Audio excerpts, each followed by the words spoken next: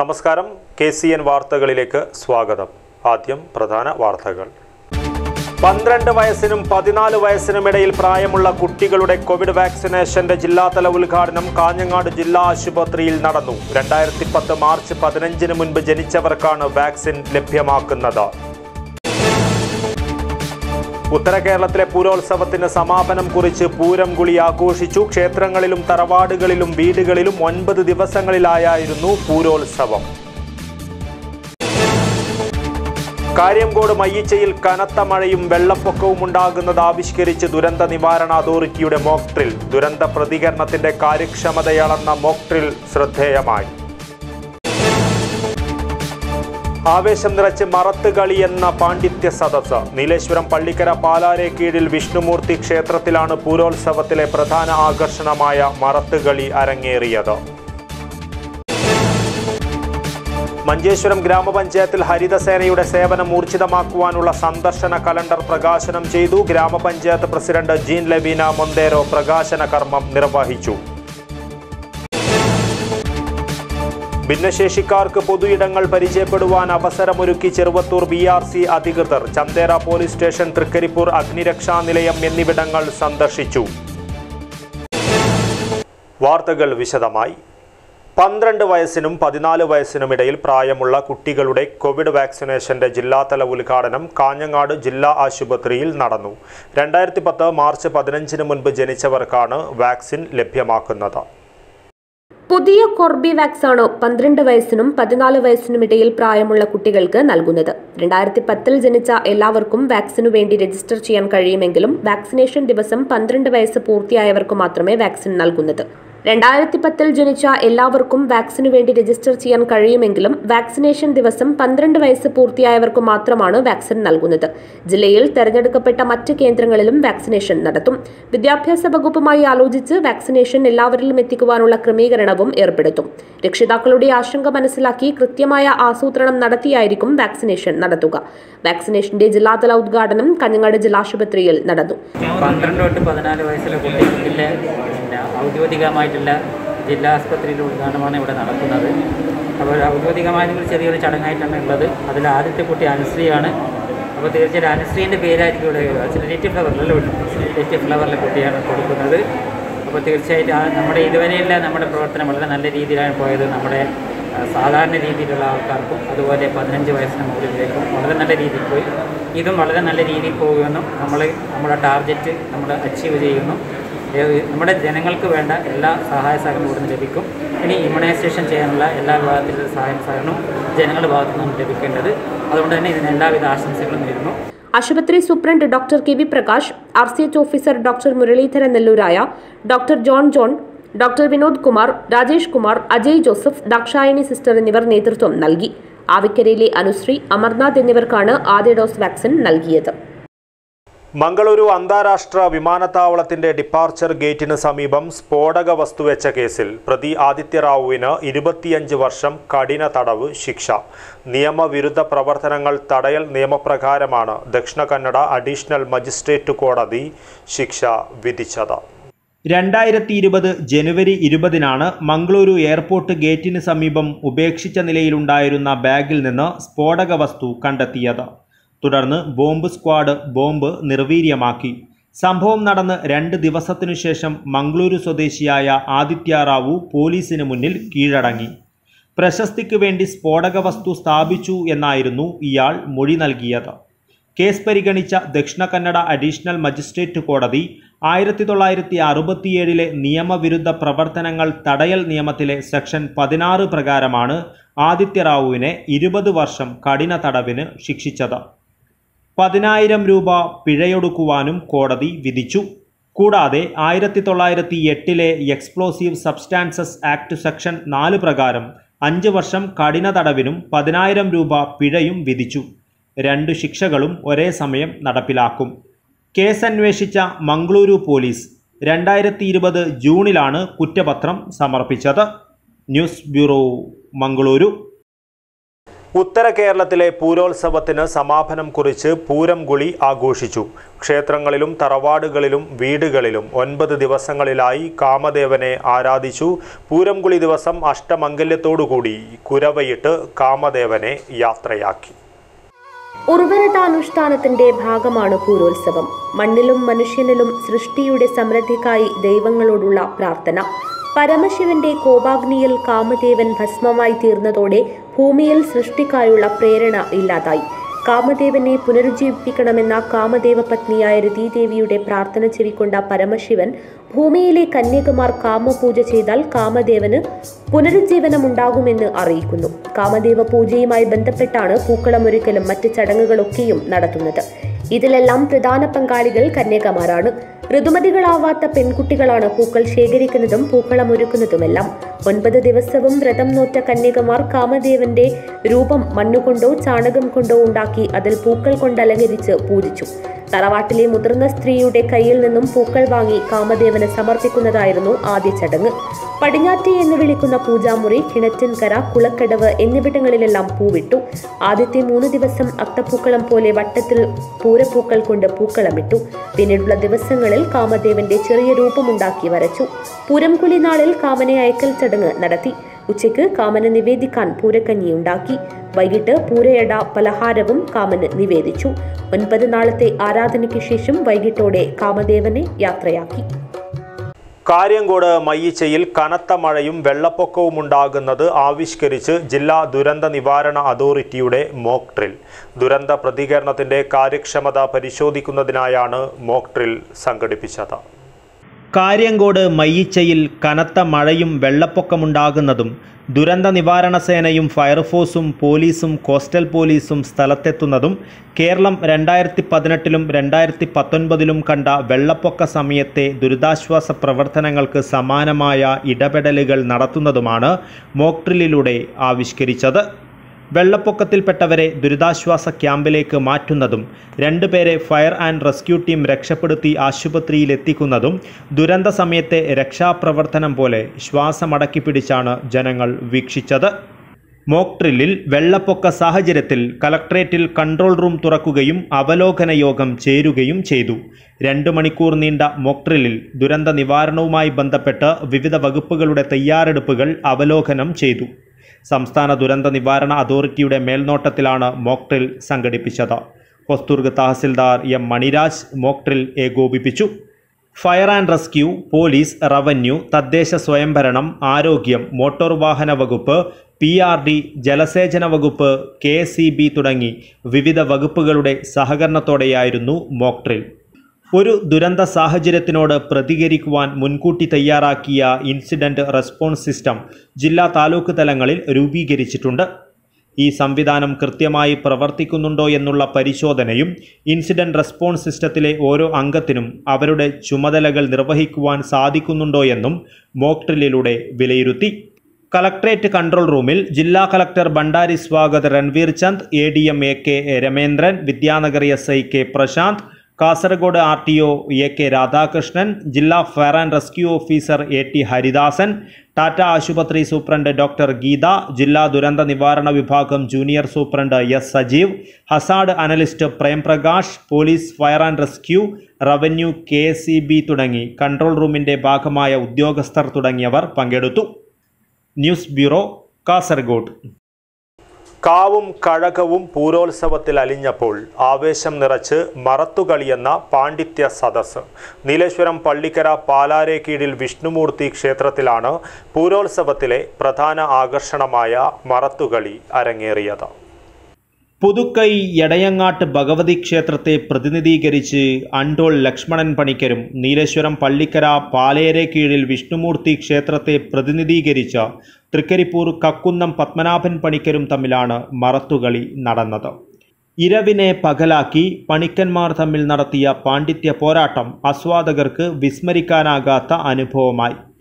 കരക്കക്കാവിലെ പണിക്കന്മാർ കളരിമുറയിൽ ചെല്ലും ചുറയുമണിഞ്ഞ് കാവ്യമീമാംസകൾ അവതരിപ്പിച്ച് നടത്തുന്ന വാഗ്വാദമാണ് മറത്തുകളി.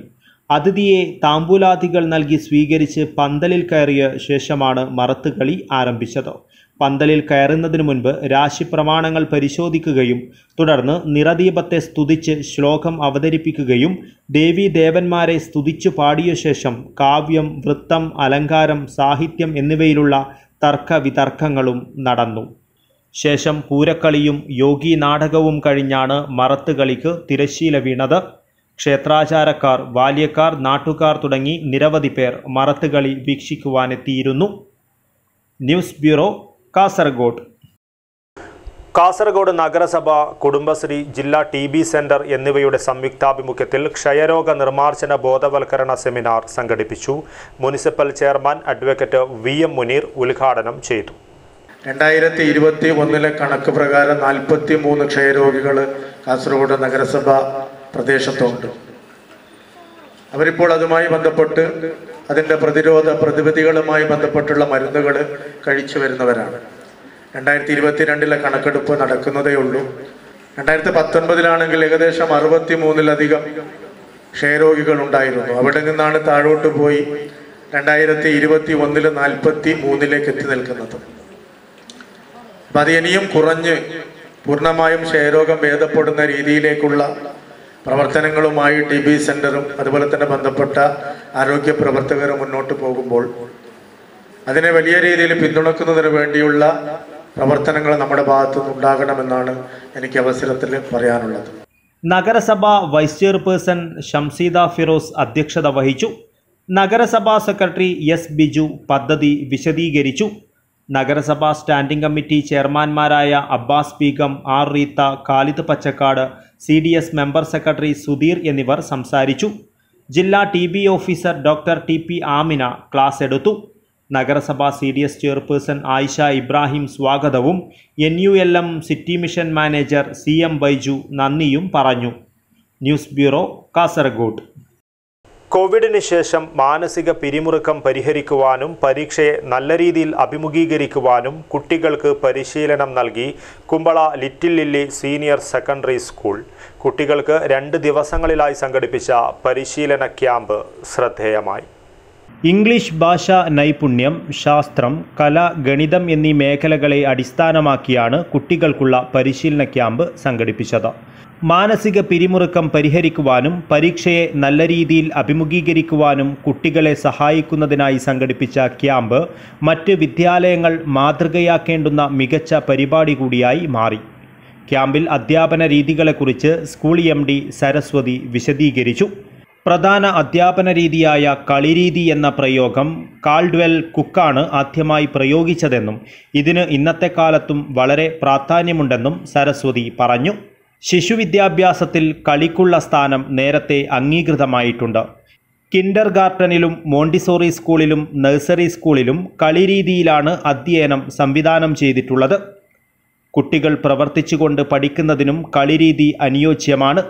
ക്രിയാപ്രധാന രീതികളിലെല്ലാം കളിയുടെ അംശം കാണാമെന്നും ഇവർ വിശദീകരിച്ചു.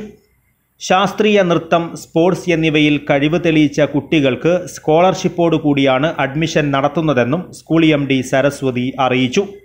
താൽപ്പര്യമുള്ളവർക്ക് സ്കൂളുമായി ബന്ധപ്പെടാവുന്നതാണ്. News bureau Kasaragod. മഞ്ചേശ്വരം ഗ്രാമപഞ്ചായത്തിൽ ഹരിതസേനയുടെ സേവനം ഊർജിതമാക്കുവാനുള്ള സന്ദർശന കലണ്ടർ പ്രകാശനം ചെയ്തു.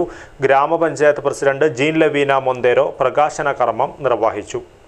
മഞ്ചേശ്വരം ഗ്രാമപഞ്ചായത്തിൽ ഹരിതസേനയുടെ സേവനം ഊർജിതമാക്കുക എന്ന ലക്ഷ്യത്തിനായുള്ള പ്രവർത്തനം പുരോഗമിക്കുകയാണ്. പരിശീലനം ലഭിച്ച സജീവ കർമ്മസേനാ പ്രവർത്തകർക്ക് പഞ്ചായത്തുകൾ മുഖേന പൂർണ പിന്തുണ നൽകുന്നുണ്ട്. ഹരിതകർമ്മസേനയുടെ പ്രവർത്തനങ്ങൾ ഊർജിതമായി നടക്കുകയാണ്. ഹരിതകർമ്മസേനാംഗങ്ങൾ എല്ലാ വീടുകളിലും സന്ദർശനത്തിനെത്തുമ്പോൾ അവരുടെ അവർക്ക് ആവശ്യമായ പ്ലാസ്റ്റിക് നൽകുകയും സേവനങ്ങൾ നിങ്ങൾ ഉറപ്പുവരുത്തുകയും വേണം. കൂടാതെ പൊതുനിരത്തുകളിൽ മാലിന്യങ്ങൾ വലിച്ചെറിയുന്നവർക്കെതിരെ പഞ്ചായത്തിൽ നിന്നും ശക്തമായ നിയമ നടപടികൾ സ്വീകരിക്കുന്നതായി. വീടുകളിൽ നിന്നും സ്ഥാപനങ്ങളിൽ നിന്നും മാലിന്യം ശേഖരിക്കുന്നത് കൂടുതൽ എളുപ്പമാക്കുന്നതിന് എല്ലാ മാസവും വീട് അതുപോലെ തന്നെ സ്ഥാപനങ്ങൾക്കുമുള്ള സന്ദർശന കലണ്ടർ തയ്യാറാക്കിയിട്ടുണ്ട്. ഇതിന്റെ പ്രകാശനമാണ് ഗ്രാമപഞ്ചായത്ത് പ്രസിഡന്റ് ജീൻ ലവീന മൊന്തേരോ നിർവഹിച്ചത്. മാസത്തിൽ ഏതൊക്കെ മാലിന്യങ്ങൾ ശേഖരിക്കുന്നു എന്നതിന്റെ വിവരങ്ങളടങ്ങിയ കലണ്ടറുകൾ എല്ലാ വീടുകളിലേക്കും അയച്ചു കൊടുക്കുമെന്നും ഫീസ് രസീത് കർമ്മസേന പ്രവർത്തകർ ശേഖരിക്കുമെന്നും പഞ്ചായത്ത് പ്രസിഡന്റ് അറിയിച്ചു. പരിപാടിയിൽ വൈസ് പ്രസിഡന്റ് സിദ്ദിഖ് അധ്യക്ഷത വഹിച്ചു. യാദവ് ബഡാജെ സുപ്രിയ രാധ മുന്താസ് സമീറ അബൂബക്കർ സിദ്ദിഖ് ലക്ഷ്മൺ ആദർശ് തുടങ്ങിയവർ സംബന്ധിച്ചു. അബ്ദുൽ റഹ്മാനുദ്യാവർ ന്യൂസ് ബ്യൂറോ മഞ്ചേശ്വരം. പൊതുയിടങ്ങൾ പരിചയപ്പെടുവാൻ അവസരങ്ങൾ കുറവുള്ള ഭിന്നശേഷിക്കാർക്ക് പഠനയാത്ര ഒരുക്കി ചെറുവത്തൂർ ബി ആർ സി അധികൃതർ. ചന്തേര പോലീസ് സ്റ്റേഷൻ തൃക്കരിപ്പൂർ അഗ്നിരക്ഷാ നിലയം എന്നിവിടങ്ങളിലേക്കായിരുന്നു യാത്ര സംഘടിപ്പിച്ചത്. പൊതു ഇടങ്ങൾ പരിചയപ്പെടാൻ അവസരങ്ങൾ കുറവുള്ള ഭിന്നശേഷിക്കാർക്ക് അത്തരം കേന്ദ്രങ്ങളിലെത്തിക്കുന്ന തരത്തിൽ പഠനയാത്രയൊരുക്കി ചെറുവത്തൂർ ബി ആർ സി അധികൃതർ. ചന്തേര പോലീസ് സ്റ്റേഷനിലും തൃക്കരിപ്പൂർ അഗ്നിരക്ഷാ നിലയത്തിലുമെത്തിയ അവർ ധൈര്യപൂർവം കാര്യങ്ങൾ ചോദിച്ചറിഞ്ഞു. കൈവിലങ്ങും തോക്കും കൈകൊണ്ട് തൊട്ടുനോക്കി ഭയത്തെ തട്ടിയകറ്റിയ അവർ ലോക്കപ്പ് എന്തെന്ന് നേരിട്ട് കണ്ടു. ഇളനീർ ജ്യൂസ് നൽകിയാണ് പോലീസ് ഇവരെ സ്വീകരിച്ചത്. ചന്തേര ജനമൈത്രി പോലീസ് സ്റ്റേഷനിൽ നിന്നും സേവനങ്ങൾ ചോദിച്ചറിഞ്ഞു. ലാത്തിയും ടിയർ ഗ്യാസും കൈവിലങ്ങും കൺമുന്നിലെത്തിയപ്പോൾ കുട്ടികളത് കൗതുകപൂർവം വീക്ഷിച്ചു. നടക്കാവിലുള്ള തൃക്കരിപ്പൂർ ഫയർ സ്റ്റേഷനിലും സ്വീകരണം ഹൃദ്യമായിരുന്നു. ദുരന്ത ഭൂമികളിൽ രക്ഷാദൗത്യം നിറവേറ്റുന്ന ഓരോ ഘട്ടങ്ങളും അവതരിപ്പിച്ചപ്പോൾ അറിവനുഭവങ്ങളുടെ പുതിയ പേജുകൾ മനസ്സിൽ കുറിച്ചിടുകയായിരുന്നു കുട്ടിക്കൂട്ടം. പോലീസ് സ്റ്റേഷനിൽ നിന്നും ഫയർ സ്റ്റേഷനിലേക്ക് ലൈൻ ബസ്സിൽ യാത്ര ചെയ്ത് കീശയിൽ നിന്നും പണം തപ്പിയെടുത്ത് സ്വയം ടിക്കറ്റ് എടുത്ത് അവർ തൃപ്തരായി. ആയിറ്റിയിൽ നിന്നും ജലഗതാഗത വകുപ്പിന്റെ ബോട്ടിൽ പയ്യന്നൂർ കവ്വായിയിലേക്കായിരുന്നു കായലോളങ്ങളോട് കിന്നാരം പറഞ്ഞ് അടുത്ത യാത്ര. കവ്വായി കായലിലെ തുരുത്തുകളും ജൈവ വൈവിധ്യവും ചരിത്രവും തൊട്ടറിഞ്ഞുള്ള യാത്ര ഏറെ ഹൃദ്യമായി. കവ്വായിയിലെ ചിൽഡ്രൻസ് പാർക്കിലായിരുന്നു യാത്രയുടെ സമാപനം. ചന്തേര സ്റ്റേഷനിൽ police inspector P Narayanan P R O T Thampan A S I A U Divakaran fire സ്റ്റേഷനിൽ station officer K M Sreenathan assistant station officer N Kuriakose എന്നിവർ കാര്യങ്ങൾ വിശദീകരിച്ചു നൽകി. ഐ ടി ബോട്ട് ജട്ടിയിൽ തൃക്കരിപ്പൂർ ഗ്രാമപഞ്ചായത്ത് സ്ഥിരം സമിതി അധ്യക്ഷൻ ഷംസുദ്ദീൻ ഐ ടിയും യാത്രയിൽ പങ്കുചേർന്നു. ചെറുവത്തൂർ ബി ആർ സിയിലെ B P C V S Bijuraj Anoop Kumar Kallath P Venugopalan C Sanoop B Roshni Ashwin Balakrishnan K P Shaniba A K Sheeba P Rachitha P M Mumtaz എന്നിവർ സംസാരിച്ചു. News bureau Kasaragod. പടന്ന ഷറഫ് കോളേജിന്റെ scholarship വിതരണവും dialysis kit കൈമാറ്റവും പത്തൊൻപതിന് നടക്കും. Kaithakkattu college ക്യാമ്പസിൽ നടക്കുന്ന പരിപാടി മന്ത്രി അഹമ്മദ് ദേവർകോവിൽ ഉദ്ഘാടനം ചെയ്യും. ഒരുക്കങ്ങൾ പൂർത്തിയായതായി അധികൃതർ വാർത്താസമ്മേളനത്തിൽ അറിയിച്ചു. Padanna Sharaf arts and science college എക്സലൻഷ എന്ന പേരിലാണ് വിദ്യാർത്ഥികൾക്ക് സ്കോളർഷിപ്പ് വിതരണ പരിപാടി സംഘടിപ്പിക്കുന്നത്. മന്ത്രി ഉദ്ഘാടനം ചെയ്യുന്ന ചടങ്ങിൽ ചെറുവത്തൂർ പടന്ന ഗ്രാമപഞ്ചായത്തുകളിലെ പാലിയേറ്റീവ് സൊസൈറ്റികൾക്കുള്ള ഡയാലിസിസ് കിറ്റിന്റെ വിതരണോദ്ഘാടനം എം രാജഗോപാലൻ എം നിർവഹിക്കും.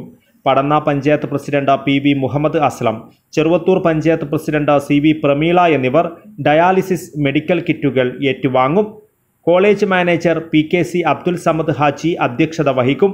വിവിധ മേഖലകളിൽ ദേശീയ അന്തർദേശീയ പുരസ്കാരങ്ങൾ കരസ്ഥമാക്കിയ വ്യക്തികളെ ചടങ്ങിൽ അനുമോദിക്കും. എട്ട് ലക്ഷത്തോളം രൂപ കഴിഞ്ഞ അധ്യയന വർഷത്തിൽ കോളേജിലെ വിദ്യാർത്ഥികൾക്കുള്ള നൂറിലധികം സ്കോളർഷിപ്പായി നൽകിയതിന് പിന്നാലെ ഈ വർഷവും ഉന്നത മാർക്ക് നേടിയവരും സാമ്പത്തികമായി പിന്നോക്കം നിൽക്കുന്നവരുമായ നൂറ്റി വിദ്യാർത്ഥികൾക്കായി പത്ത് ലക്ഷത്തിൽ പരം രൂപയാണ് സ്കോളർഷിപ്പായി നൽകുന്നത്. കണ്ണൂർ യൂണിവേഴ്സിറ്റിയുടെ കീഴിൽ ഇത്രയധികം തുക സ്കോളർഷിപ്പായി നൽകുന്ന ഏക സ്വാശ്രയ കോളേജാണ് Sharaf arts and science college എന്നും അധികൃതർ പറഞ്ഞു. School manager P K C Abdul Samad Haji doctor P Balakrishnan P K C Thajudheen എന്നിവർ വാർത്താ സമ്മേളനത്തിൽ പങ്കെടുത്തു. News bureau Cheruvathur. Munnad people's കോളേജിൽ പെൻ ഫ്രണ്ട് ശേഖരണ പെട്ടികൾ സ്ഥാപിച്ചു. സോഷ്യൽ വർക്ക് ഡിപ്പാർട്ട്മെന്റിന്റെ സാമൂഹിക പ്രവർത്തന ദിനാചരണത്തിന്റെ ഭാഗമായാണ് പരിപാടി സംഘടിപ്പിച്ചത്. രണ്ട് വർഷമായി സമൂഹത്തിന്റെ വിവിധ മേഖലകളിൽ നിന്നും ഉപയോഗശൂന്യമായ പേനകൾ ശേഖരിച്ച് അംഗീകൃത പാഴ്വസ്തു വ്യാപാരികൾക്ക് കൈമാറുന്ന പ്രവർത്തനമാണ് പെൻഫ്രണ്ട് പദ്ധതിയിലൂടെ ഹരിത കേരള മിഷൻ നടത്തിവരുന്നത്. പദ്ധതിയിൽ ഉൾപ്പെടുത്തി മുന്നാട് പീപ്പിൾസ് കോളേജിൽ പെൻഫ്രണ്ട് ശേഖരണ പെട്ടികൾ സ്ഥാപിച്ചു. ഉപയോഗശൂന്യമായ പേനകൾ വിദ്യാർത്ഥികളും അധ്യാപകരും ഈ പെട്ടികളിൽ നിക്ഷേപിക്കുകയും നിശ്ചിത കാലയളവിൽ അംഗീകൃത പാഴ്വസ്തു വ്യാപാരികൾക്ക് കൈമാറുകയും ചെയ്യും. സോഷ്യൽ വർക്ക് ഡിപ്പാർട്ട്മെന്റിന്റെ സാമൂഹിക പ്രവർത്തന ദിനാചരണത്തിന്റെ ഭാഗമായാണ് പരിപാടി സംഘടിപ്പിച്ചത്. ഹരിത കേരള മിഷൻ ജില്ലാ കോർഡിനേറ്റർ എം പി സുബ്രഹ്മണ്യൻ പദ്ധതിയുടെ ഉദ്ഘാടനം നിർവഹിച്ചു. കോളേജ് ജീവനക്കാർ വിദ്യാർത്ഥികൾ എന്നിവരിൽ നിന്ന് പഴയ വസ്ത്രങ്ങൾ ശേഖരിച്ചു തുടങ്ങുന്ന ഗ്രോ ബാഗ് നിർമ്മാണ പദ്ധതിയെക്കുറിച്ച് ഹരിത കേരള മിഷൻ ജില്ലാ റിസോഴ്സ് പേഴ്സൺ ലോഹിതാക്ഷൻ ക്ലാസ് എടുത്തു.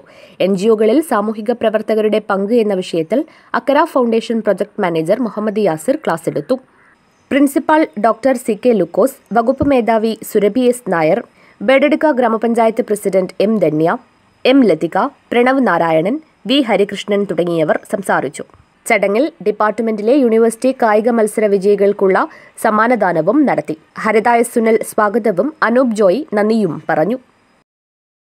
വിവിധ ആവശ്യങ്ങൾ ഉന്നയിച്ച് motor transport employees union C I T U Kasaragod ജില്ലാ കമ്മിറ്റി മാർച്ചും ധർണയും നടത്തി. അഡ്വക്കേറ്റ് പി അപ്പുകുട്ടൻ ധർണാ സമരം ഉദ്ഘാടനം ചെയ്തു. ബസ് തൊഴിലാളികൾക്ക് പുനരുദ്ധാരണ പാക്കേജ് പ്രഖ്യാപിച്ച് നടപ്പിലാക്കുക തൊഴിൽ പുനഃസ്ഥാപിക്കുകയും നിയമപ്രകാരമുള്ള വേതനം ഉറപ്പാക്കുകയും ചെയ്യുക ശാസ്ത്രീയവും സമഗ്രവുമായ ഗതാഗത നിയമം രൂപീകരിക്കുക തുടങ്ങിയ ആവശ്യങ്ങൾ ഉന്നയിച്ചായിരുന്നു motor transport employees union C I T U Kasaragod ജില്ലാ കമ്മിറ്റിയുടെ നേതൃത്വത്തിൽ കാഞ്ഞങ്ങാട് ആർ ഡി ഓഫീസിലേക്ക് മാർച്ച് നടത്തിയത്.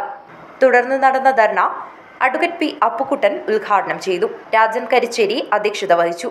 കാറ്റാടി കുമാരൻ കെ വി രാഘവൻ തുടങ്ങിയവർ സംസാരിച്ചു. ഗിരികൃഷ്ണൻ സ്വാഗതം പറഞ്ഞു.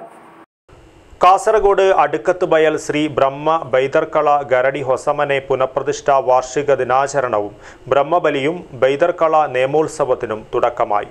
ബ്രഹ്മശ്രീ വിഷ്ണുപ്രകാശ് പട്ടേറി കാവുമഠത്തിന്റെ കാർമ്മികത്വത്തിലാണ് ധാർമ്മിക പരിപാടികൾ നടക്കുന്നത്. പുനഃപ്രതിഷ്ഠ വാർഷിക ദിനമായ ബുധനാഴ്ച ഗണപതി ഹോമം കലശപൂജ മുടിപ്പുശുദ്ധി നാഗതമ്പില എന്നിവ ഭക്തിയുടെ നിറവിൽ നടന്നു. ഗുളിക തെയ്യത്തിന്റെ കോലവും കൊരത്തിയമ്മയുടെ കോലവും അനുഗ്രഹം ചൊരിഞ്ഞപ്പോൾ ഭക്തർക്കത് ആത്മനിർവൃതി നൽകി. വ്യാഴാഴ്ച മഹാപൂജ ബൈതർക്കള പ്രദർശനം ബ്രഹ്മബലിയും ബൈതർക്കള രംഗപ്രവേശവും നടക്കും. സമാപന ദിവസമായ വെള്ളിയാഴ്ച മായംതാള ദേവിയുടെ പ്രദർശനം പൂജാരികളുടെ സേട്ട് എന്നിവയുമുണ്ടാകും. പ്രസാദ വിതരണത്തോടുകൂടി ഉത്സവം സമാപിക്കും. News bureau Kasaragod. കാസർഗോഡ് മാന്യ ഉള്ളോടി ശ്രീ കൊറക തനിയ ദൈവത്തിന്റെ നാലാം പ്രതിഷ്ഠാ വാർഷിക മഹോത്സവത്തിന് ഭക്തിസാന്ദ്രമായ സമാപനം. നാടിന്റെ നാനാദിക്കിൽ നിന്നുമായി കൊറഗജയുടെ അനുഗ്രഹം തേടി നിരവധി പേരാണ് എത്തിയത്. രാവിലെ ആറ് മണിക്ക് ദീപം തെളിയിക്കൽ തുടർന്ന് ഗണപതി ഹോമം എന്നിവ നടന്നു. ചൗക്കാർ മന്ത്രമൂർത്തി ഗുളികകോലം ഭക്തർക്ക് അനുഗ്രഹം പകർന്നു.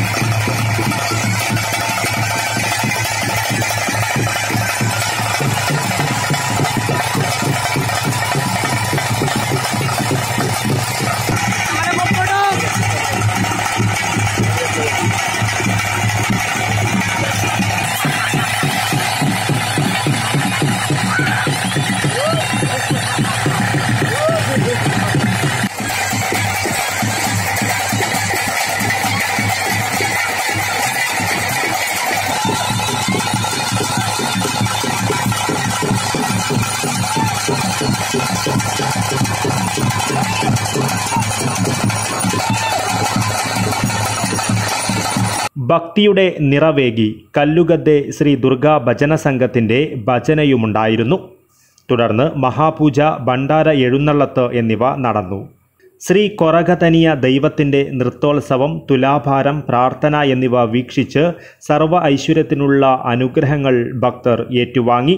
വ്യാഴാഴ്ച പുലർച്ചെ നാല് മണിക്ക് നടന്ന പ്രസാദ വിതരണത്തോടെ ഉത്സവത്തിന് ഭക്തിസാന്ദ്രമായ സമാപനം കുറിച്ചു. News bureau Kasaragod. Chithari village ഓഫീസിന് മുന്നിൽ കർഷക തൊഴിലാളി ഫെഡറേഷന്റെ പ്രതിഷേധം. കർഷക തൊഴിലാളി പെൻഷൻ ഉപാധിരഹിതമായി നിർണയിക്കണമെന്നതടക്കമുള്ള ആവശ്യങ്ങൾ ഉന്നയിച്ചായിരുന്നു പ്രതിഷേധം. കർഷക തൊഴിലാളി പെൻഷൻ ഉപാധിരഹിതമായി നിർണയിക്കുകയും മൂവായിരം രൂപയായി ഉയർത്തുകയും ചെയ്യുക കർഷക തൊഴിലാളി ക്ഷേമനിധി വഴി ഒരു ലക്ഷം രൂപ അതിവർഷ ആനുകൂല്യമായി ലഭ്യമാക്കുക. ലൈഫ് പദ്ധതി പ്രകാരം വീടിന് അർഹരെ തെരഞ്ഞെടുക്കുന്നതിന് പ്രഖ്യാപിച്ച ഉപാധികൾ ലഘൂകരിക്കുക തുടങ്ങിയ ആവശ്യങ്ങൾ ഉന്നയിച്ചുകൊണ്ടാണ് കേരള സ്റ്റേറ്റ് കർഷക തൊഴിലാളി ഫെഡറേഷൻ ബി കെ എം യുവിന്റെ നേതൃത്വത്തിൽ ചിത്താരി വില്ലേജ് ഓഫീസിലേക്ക് മാർച്ചും ധർണയും സംഘടിപ്പിച്ചത്. സി പി ഐ ജില്ലാ സെക്രട്ടറി ഗോവിന്ദൻ പള്ളിക്കാപ്പൽ സമരം ഉദ്ഘാടനം ചെയ്തു. B K M U Ramagiri unit president Chandravathi Kanhangad അധ്യക്ഷത വഹിച്ചു. കഞ്ഞങ്ങാട് മണ്ഡലം secretary Gangadharan Pallikkappil Karunakaran Kunnath K V Kottankunhi A Thampan Shyamala Madhavan എന്നിവർ സംസാരിച്ചു. ജലസംരക്ഷണ പ്രവർത്തനങ്ങൾ ഊർജിതമാക്കി കാഞ്ഞങ്ങാട് നഗരസഭ. അയ്യങ്കാളി നഗര തൊഴിലുറപ്പ് പദ്ധതിയിൽ ഉൾപ്പെടുത്തി അത്തിക്കോത്ത് എ സി നഗറിൽ കുളം നിർമ്മിക്കും. പ്രവൃത്തി ഉദ്ഘാടനം നഗരസഭാ അധ്യക്ഷ കെ വി സുജാത നിർവഹിച്ചു. പട്ടികവർഗ കോളനിയിലെ ഏകദേശം പത്തോളം കുടുംബങ്ങൾക്ക് കുടിവെള്ളത്തിനും കാർഷിക ആവശ്യങ്ങൾക്കും ഉപയോഗിക്കുവാൻ തക്ക രീതിയിലാണ് കുളം നിർമ്മിക്കുന്നത്. കഞ്ഞങ്ങാട് നഗരസഭയുടെ തൊഴിലുറപ്പ് പദ്ധന പദ്ധതിയായിട്ടാണ് ഇതിനെ കാണുന്നത്. പത്ത് മീറ്റർ നീളവും ആറ് മീറ്റർ വീതിയിലുമാണ് കുളം നിർമ്മിക്കുന്നത്. നാൽപ്പത്തിമൂന്ന് തൊഴിലാളികൾ തൊഴിലെടുത്ത് പദ്ധതി പൂർത്തീകരിക്കുവാനാണ് ഉദ്ദേശിക്കുന്നതെന്ന് നഗരസഭാ അധികൃതർ പറഞ്ഞു. നഗരസഭാ ചെയർപേഴ്സൺ കെ വി സുജാത പ്രവൃത്തി ഉദ്ഘാടനം നിർവഹിച്ചു. നഗരസഭാ വികസനകാര്യ സ്ഥിരം സമിതി ചെയർപേഴ്സൺ കെ ലത പൊതുമരാമത്ത് സ്ഥിരം സമിതി chairman K Aneesh കൌൺസിലർമാരായ Soudamini Sujith Kumar Kudumbashree C D S chairperson Surya Janaki Ayyankali തൊഴിലുറപ്പ് പദ്ധതി assistant engineer Sugatha accountant Sunitha എന്നിവർ സംബന്ധിച്ചു. പ്രധാന വാർത്തകൾ ഒരിക്കൽ കൂടി. പന്ത്രണ്ട് വയസ്സിനും പതിനാല് വയസ്സിനുമിടയിൽ പ്രായമുള്ള കുട്ടികളുടെ കോവിഡ് വാക്സിനേഷന്റെ ജില്ലാതല ഉദ്ഘാടനം കാഞ്ഞങ്ങാട് ജില്ലാ ആശുപത്രിയിൽ നടന്നു. രണ്ടായിരത്തി പത്ത് മാർച്ച് പതിനഞ്ചിന് മുൻപ് ജനിച്ചവർക്കാണ് വാക്സിൻ ലഭ്യമാക്കുന്നത്. ഉത്തര കേരളത്തിലെ പൂരോത്സവത്തിന് സമാപനം കുറിച്ച് പൂരം കുളി ആഘോഷിച്ചു. ക്ഷേത്രങ്ങളിലും തറവാടുകളിലും വീടുകളിലും ഒൻപത് ദിവസങ്ങളിലായായിരുന്നു പൂരോത്സവം. കാര്യംകോട് മയ്യച്ചയിൽ കനത്ത മഴയും വെള്ളപ്പൊക്കവും ഉണ്ടാകുന്നത് ആവിഷ്കരിച്ച് ദുരന്ത നിവാരണ അതോറിറ്റിയുടെ മോക്ട്രിൽ ദുരന്ത പ്രതികരണത്തിന്റെ കാര്യക്ഷമതയളന്ന മോക്ട്രിൽ ശ്രദ്ധേയമായി. ആവേശം നിറച്ച് മറത്ത് കളി എന്ന പാണ്ഡിത്യ സദസ് നീലേശ്വരം പള്ളിക്കര പാലാരെ കീഴിൽ വിഷ്ണുമൂർത്തി ക്ഷേത്രത്തിലാണ് പൂരോത്സവത്തിലെ പ്രധാന ആകർഷണമായ മറത്ത് കളി അരങ്ങേറിയത്.